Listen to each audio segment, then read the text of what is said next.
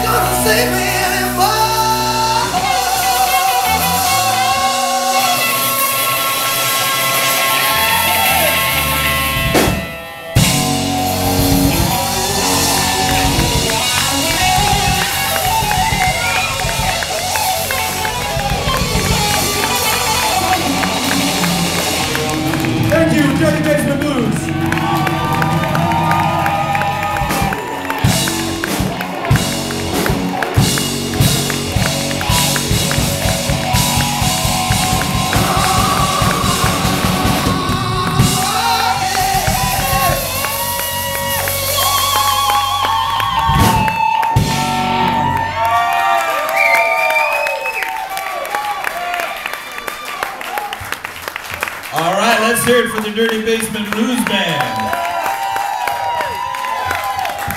That's a dirty rock basement.